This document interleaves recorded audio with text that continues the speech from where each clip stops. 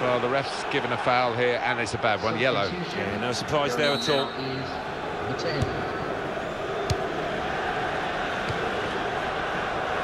Dembele.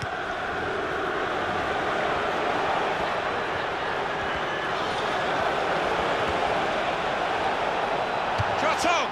Well, the goal scored by the side with the extra man, and they've made that extra man count. Well, you've got to use the width of the pitch and make that extra man count, as you say, Martin. They did exactly that, and they were patient. They waited for the moment, and they got the reward.